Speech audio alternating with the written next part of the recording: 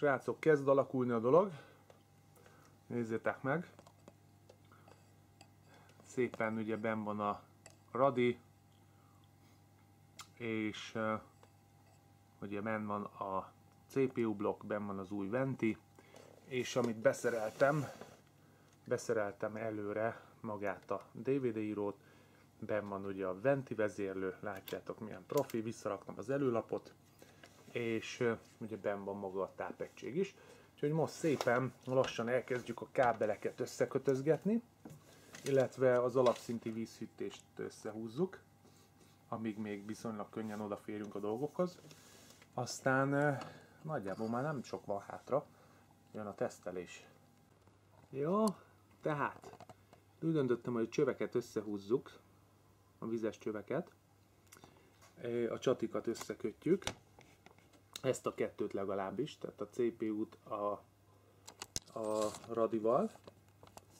Aztán ez a, ezt a részt látjátok, majd ide raktam pumpát is, ezt majd a végén fogom bekötni. Előtte még a kábeleket majd rádugdosom. Csak kíváncsi vagyok, hogy itt a csövezés az mennyire egyszerű, bonyolult, illetve mennyire bonyolult. Úgyhogy hogy itt a cső, egy első körbe, nagyjából le kell vágni egy megfelelő méretet. Mm. Ugye múltkor mutattam nektek a csővágót, ami egy hasznos eszköz ilyenkor, hogy ez a csővágó. És megpróbálunk vágni egy megfelelő méretet, nagyjából amennyire itt szükség van. Ugye ez a kimenő ág, ugye ez a felső a bemenő ág, tehát ez fog a, innen ide menni, Úgyhogy szerintem az a logikus, hogyha ezt ide húzom, és ez ugye ide megy majd. Úgyhogy körülbelül azt kell elkapni, hogy ez, de ugye sokszor nem olyan egyszerű ám, tehát azt hiszem ezt fogjuk ide kötni, hogy ugye innen menjen ide, hogy ne legyen az, hogy törik a cső. Most átmenetileg kivesszük a pumpát, tartályt, és nagyjából ezt megnézem, hogy milyen hosszúnak kellene, hogy legyen. Ugye látjátok, hogy ne kell nézni, hogy a cső az egyenesen szépen le van-e vágva, ez elég jó. Elég jó egyenes levágás. Föl kell rakni a gyűrűt, mert aztán utána baj van. És egy picivel, áh, ezt pont nem látjátok, úgyhogy úgy csinálom, hogy ti is lássátok érdemes egy nagyon picit megnyálazni, hogy könnyebben rácsúszik. Nagyon picit, tényleg csak annyi, hogy jobban csúszom, és már is rajta is vagyunk. Nézzétek meg, szépen rá, rá sikerült rakni, és eh, ezután nincs más hátra, mint a csatit becsavarni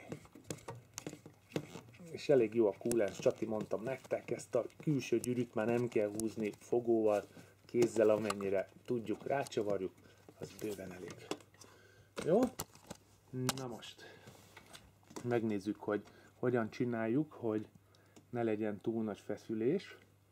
Látjátok, hogy ide tolnám, vagy ide húznám, ott viszonylag feszülne a cső.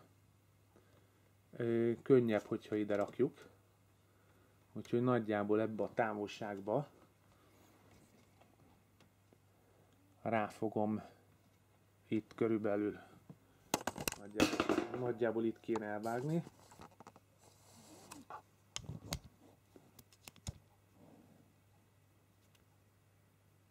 Még egyszer megnézzük.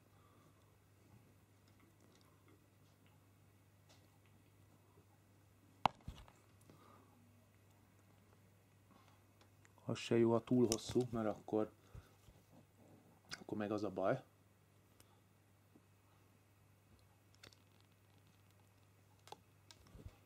Jó. És most mielőtt ugye rátoljuk, most jön a gyűrű. Ismét.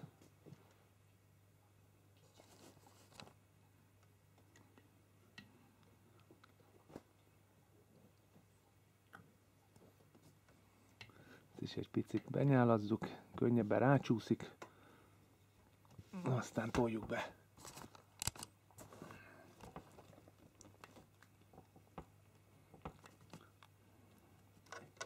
Láttátok, itt nem csináltam úgy, hogy maximálisan merőleges legyen a kivágás, ugyanis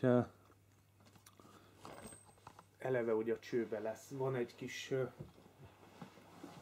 hajlás, úgyhogy nem baj, ha egy picit elfordul, vagy picit szög van a vágáson.